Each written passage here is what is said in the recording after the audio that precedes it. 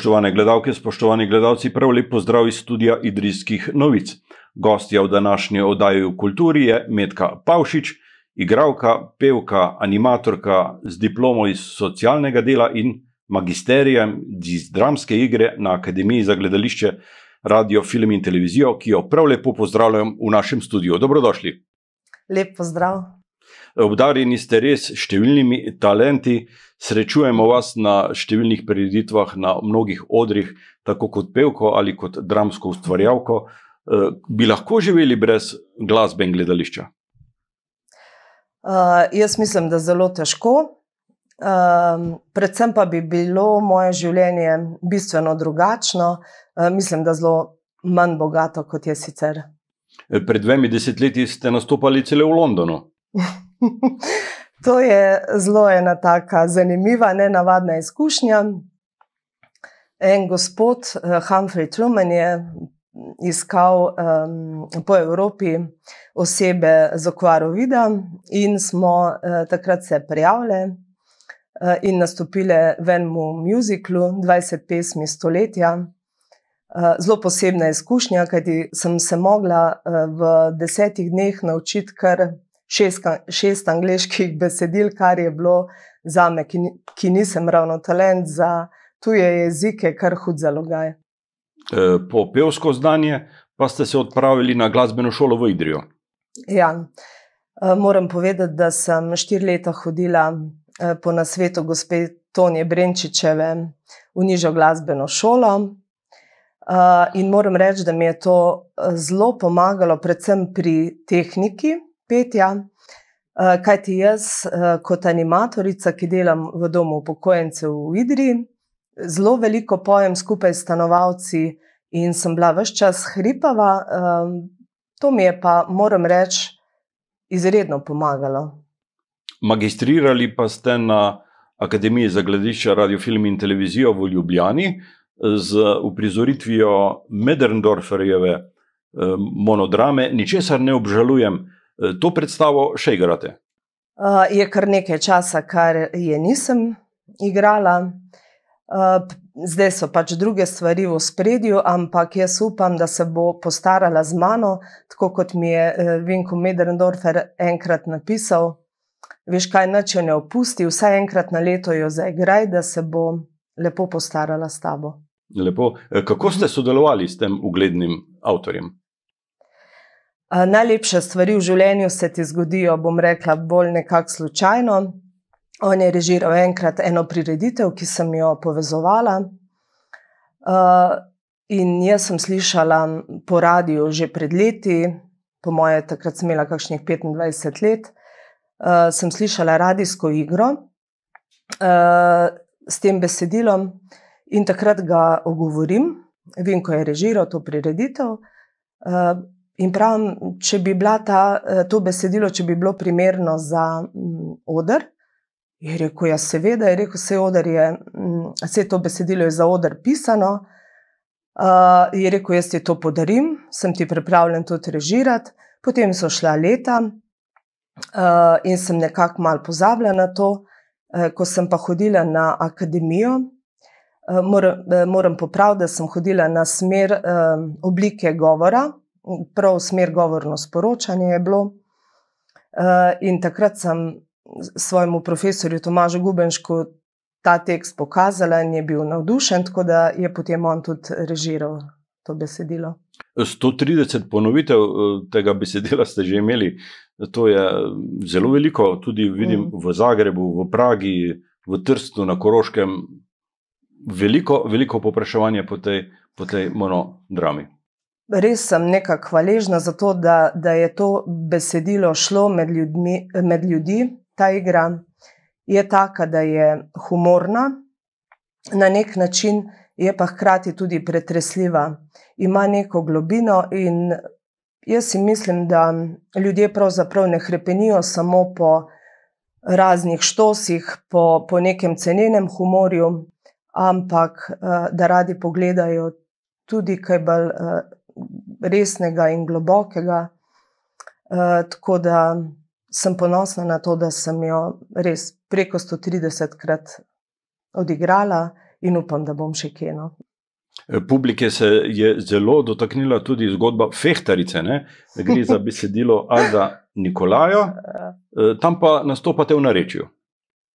Uh, ja, to je bilo tako zanimivo uh, soočanje s Fehtarco. Enkrat so me, bila sem tudi tak, zelo, še zelo mlada takrat, um, so me povabili na eno državno prireditev in nisem imela pravzaprav nič kaj primernega, oziroma so mi nekaj uh, zavrnili, en predlog. In sem se potem na hitro naučila fehtarco, in niti v sanjah si nisem mislila, da bom takrat tolkrat, če potem eh, odigrala to fehtarco. In še, še vsako leto se zgodi, da mi parkrat eh, kdo, kdo reče, da me kdo kam povabi, da je prid na, na to 50-letnico, pa v domu jo vsake toliko let odigram. Vedno, vedno bom rekla, požanje ene simpatije. Eh, je tudi tako sporočilna, uh, sporočilna ta fehtarca, pa tudi humorna, tako da je eno tako res uporabno besedilo. Povejte nam, kje si polnite baterije za rekel, to vaše ustvarjanje na odru. Eh, morda tudi na tej Jakobovi poti v Kompostelo 816 km ste prehodili. Hoja je za me en tak, um, ena taka meditacija, ena sprostitev. Sama po sebi nisem kak hudo športen človek, um, hoja pa mi je nekako všeč, um, predvsem na tako dolgih poteh, kot je kamino, ali pa tudi krajše poti, par, par dnevne, uh, mi pomaga, da se odklopim iz uh, vsakdanjega življenja, da uh, kakšne stvari premislim o svojem delu, o svojem življenju pa tudi ena prilika, da kaj spoznaš bolj od blizu, da se podružiš s prijatelji. Tako, to se mi zdi res eno tako prijetno um, polnjenje baterij. E, to poletje pa ste oživili zgodbo o Melchiorci. Gre za, gre za pripoved o prekupčevalki in tatici Šebrel. Kdo je bila pravzaprav ta gospa? Uh, moram reči, da sem zelo vesela in ponosna, da me je Mestni muzej Idrija, ki je pristopil k temu projektu, to je evropski projekt, povabil k sodelovanju. Veliko sodelavcev je delalo za to, smo, smo pripravili 25-minutno uprizoritev gospe, ki je živela pred 300 leti. Bila je tihotapka, bila je kontrabandarca, eh, imela je težko življenje, kot, ima, kot so ga imeli in ga še zdaj imajo ljudje v teh na, naših rovtarskih okoljih. Njena zgodba je tako pretresljiva. Eh, bila je ženska, eh, biriči so jo ravno na božič zagrabili, jo pretepli na domu, prevlekli so jo do spodnje Idrije. Tukaj so jo prevzeli idrijski biriči in je bila dve leti zaprta na gradu, proti njej je potekal uh, sodni proces, in konca se pa pač ne ve iz zapisov. Pojavljajo se tudi zgodovinske osebnosti. Glavni sodnik in vodja procesa je bil rudniški direktor, takratni plemeniti Franz Anton Steinberg. Ja, Uh, Marina Melchiorca je res imela uh, opravka, bom rekla, z, z večino z moškimi, uh, tudi njeni kolegi, rodari, knapi, uh, z njimi je kontrabantala. Seveda, uh, bila je pa velik trn v peti Steinbergu, ki mu je. Pravzaprav mu je šla grozna na živce, zato ker je bila tako presjana uh, predkana, vse čas je malce po svoje odgovarjala. Niso vedeli, a toliko manipulira, a je res mal prefliknjena uh, in pila mu je kri, in tudi uh, v Gracu je bil oka, kar okaran zaradi tega. Uh, Ker ni dobro, uspešno vodil tega procesa, oni so vendarle želeli, da bi jim ona izdala, eh, s kom sodeluje, in podobno. V zgodbi se znajde celo Jakob Anton Koronini, takratni tolminski grof in deželni glavar to funkcijo je upravljal vse do leta 1741, drži? Ja, kar nekajkrat je omenjen grof Koronini. On je poslal biriče k njej in, in je en tak negativen lik, ki vse čas spremlja, spremlja Melchiorca na poti. Gospa je bila tako zvita, da je celo pobegnila iz, iz Idrijskega gradu, a se je vendarle kasneje vrnila. Njen brat je bil namreč župan v Šebreljah. Ja, uh, sem bila zelo presenečena nad tem, da so imeli Šebrelje prav župana. In seveda, on se je bal, da bo tudi z njim kaj narobe, če, ne, če se ona ne vrne, in jo je prepričal, da se je po treh tednih, bila je jesen, vrnila na grad. Uh, govoril je, da bo kazen manjša, če pride sama od sebe na grad, uh, da je že tako ali tako ena uboga reva uh, in naj se vendar vrne, ker bo kazen bolj mila. Lahko bi jo doletelo celo žigosanje uh, z, z, z razbeljenim železom. To so bile hude kazni v tistem času. Ne? To so bile izredno hude kazni, človeka prav pretrese, ko to bere. In tudi, ko govorim te stvari, Uh, lahko bi jo dal celo na gauge, uh, z razbeljenim železom so jo žgal znamne, uh, potem recimo obesili so jim tablo okrog vratu, kjer je bil napis Kradljivc, ali pa na pranger, na sramotilni stebr so te prevezali in so te potem, seveda, prebivalci Idrije javno zasmehovali, pluvali vate, metali kamenje vate in podobno. Zanimivo, ta stebr naj bi stal nekje na, na območju današnjega Lenštata. Tako je. E, tako pričajo zgodovinski podatki. Čeprav ta zgodba je manj znana v Idriji. Ne? Avtorica besedila e, po, tej, po teh zgodovinskih virih, to je pravzaprav zgodovinska pripoved, e, je žal že pokojna Alenka Bolevrabec. Kako ste sodelovali s to gospo? Z gospo smo se srečali že pred leti, v eni igri, kasneje me je tudi eh, vabila. Ona je bila direktorica Linhartovega odra, eh, tudi jeseniškega gledališča. Eh, kar nekajkrat sem sodelovala z njo. In seveda se zbližaš tudi po človeški plati. In enkrat je bila tukaj na Vidri na Čipkarskem festivalu. In pravzaprav mi je ona povedala za to Marino Melchiorco, Rekla mi je, če jo poznam, sem rekla, da nimam pojma. Je rekla, jaz sem pa na njo naletela na internetu, mene je rekla, je čist fascinirala in bi ti z veseljem napisala dramski tekst in ti bi igrala tako kot kakšno fehtarco, ne, ne 10-15 minut. Pa sprva nisem bila načkaj navdušena, potem eh, se je pa kar samo od sebe nekako odvijalo na način, da sva pravzaprav takoj šli v muzej, kjer smo se skupaj usedli, gospa Marija Trpin Mlinar, ki je to gospo pravzaprav odkrila.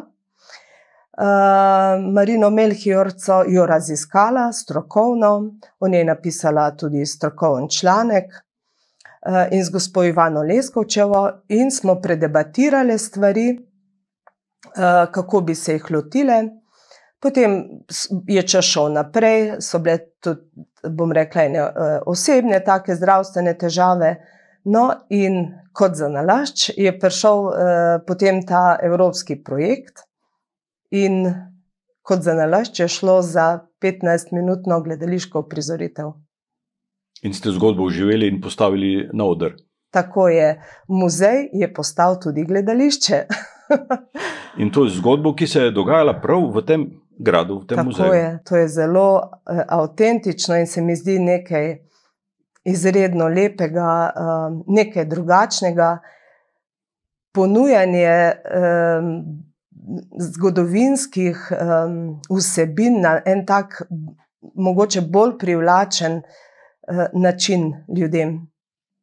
Posebnost te postavitve je tudi govor. Eh, tam se zelo približate različici govora, ki je danes v Šebreljah. Te razlike med idrijskim govorom, cekljanskim, šebreljskim, vendarle obstajajo.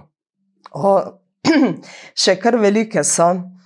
Mm, hvala Bogu, da mi je pri tem pomagala gospa Marica Brezavšček. Brez nje bi težko. Muzej je stopil, bom rekla, pristopil k sodelovanju z njo. Ona je iz slovenščine dala v šebrelsko narečje, potem mi to zadevo posnela. Jaz sem se učila po tem posnetku. Še prej sva ga pa z gospo Marijo Trpin Mlinar malce omilili, kajti želeli smo doseči to, da bi ne glede na to, a pride v muzej neki Štajerec, Dolenc, Prekmurec, vendarle bistvo razumel. In ko je bilo to malce omiljeno, sem se jaz to naučila. Ni bilo enostavno. Pričakovala sem, da ne bo toliko težav, ampak vendarle pomembni so detajli, pomembni so naglasi, ti zlogi, ki jih krajšajo. In ko se mi je že zdelo, da nekako plavam v tem narečju, sem videla, da mi to ne gre, da sem nesigurna.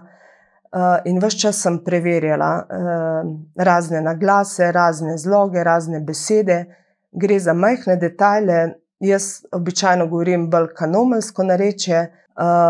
Se mi zdi na en način, da bi lažje se naučila čisto v enem drugem narečju, ne vem, v mariborščini recimo, kot pa tole, ki je bilo na, na neki način zelo podobno, pa vendar kar precej drugačno. Pri postavitvi igre sta sodelovala tudi Tomaž Gubenšek in Mateja Mlačnik, slednja je skrbela za režijo. Mateja Mlačnik je moja kolegica, moja prijateljica. Sem tudi že kar nekajkrat sodelovala z njo. Se zelo razumeva, tudi tako v strokovnem smislu, kot režiserka jo zelo spoštujem in cenim. In se mi zdi, da ona zna ven iz mene potegniti tisto najboljše.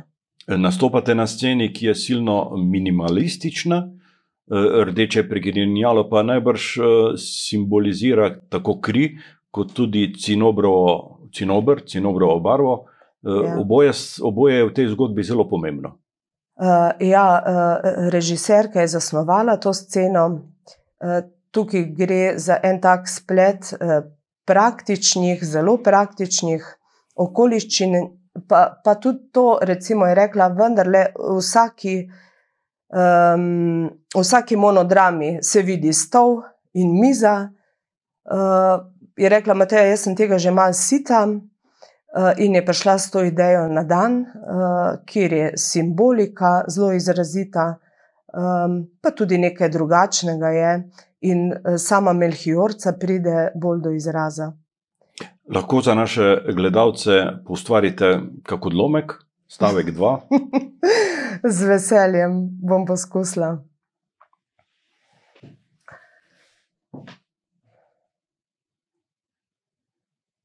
Za božič je bilo. V Šebrelih je tako medlo, snega je bilo skoraj že, da kali. Sedeli smo v hiši pri Hark peč, Florjanček je z Nožičkaniki delal koščka lesa na žvalca. Jaz sem sedi pa vzdičil za pečjo z roženkrancem v rokah. Kar naenkrat sta pa v hiši pridevja dva tminska beriče. Ta tetka Ferdamana sta tulila, skočila na mene in pa me tolkla in pa cba, Florjanček se je tako ustrašil, da je mu v oči ke dva oriha in pa nobenega glasu ni bilo od njega. Hvala lepa, hvala lepa. Zelo veseljem. doživeto. Vsaka uprizoritev od vas terja najbrž tudi posebno pripravo. Se težko vživite v lik te tihotapke? Zdaj že ne več. Na začetku sem imela kar težave, zato ker sta na dan udarjali dve, dve vlogi, ki sem jo res velikokrat ponavljala. Z režiserko pa nama je nekako uspelo, da sva to zabrisali, da sem to izbrisala iz svojega telesa, iz načina govora. Moram pa reči, da mi pri tem zelo pomaga tudi kostum, ki je bil tudi študijsko zasnovan v muzeju. Tudi čevlji so prav zato narejeni iz osemnajstega stoletja. Tako da vsi ti detajli pomagajo pri tem, da se igralec pač lažje vživi v vlogo. Medka Pavšič, prav lepa hvala za obisk v našem studiu in hvala za ta pogovor. Želim vam še obilo uspešnih predstav in uspehov na gledaliških odrih. Najlepša hvala, hvala za vabilo in dobrodošli vsi gledalci na ponovitvah Melhijorce. Ki bodo, ko se te zdravstvene razmere najbrž malce umirijo. Zagotovo bodo. Vam, spoštovane gledalke in gledalci, pa hvala za pozornost.